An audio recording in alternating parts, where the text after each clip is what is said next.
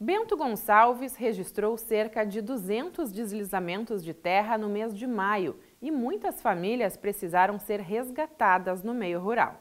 Buscando levar apoio às famílias que estão desabrigadas ou desalojadas e proporcionar momentos de integração, espiritualidade e recreação, foram realizadas duas edições do projeto Nossa Gente, Nossos Laços, em comunidades rurais do município. A iniciativa de reunir as famílias que passam por um momento tão difícil é da Emater Ascar, Instituto Federal do Rio Grande do Sul e Faculdade da Serra Gaúcha, campus Bento Gonçalves, e voluntários com o apoio de entidades locais. As lembranças permanecem vivas. E era perto do meio-dia assim, tremeu, chegou a tremer o lado de casa do moro, quando caiu mas com acolhimento e apoio, a angústia, o medo e a tristeza podem dar lugar à esperança, à superação e à alegria.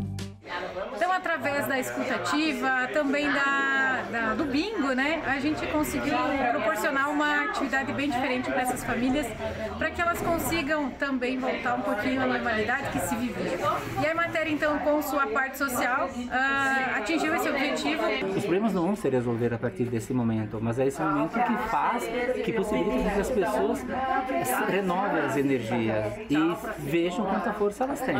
E bem rapidinho, é como eu sou da colônia também, né? Então lá na colônia a gente gostava de no fim de semana, no salão, na igreja, na comunidade, jogar cartas, chacolar. Era passar umas horas diferentes.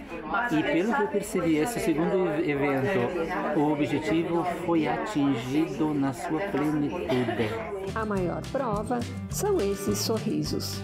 Tá ótimo. Ganhou brinde no. no... Ganhei o brinde. Tá muito bom mesmo. Tá reunido aqui com todos vocês. É, é uma alegria. Muito divertimento. Ah, muito bom. Tá divertido. Aprendi a jogar bingo, que não sabia. Olha! Já ganhei também. Por mais coisas assim.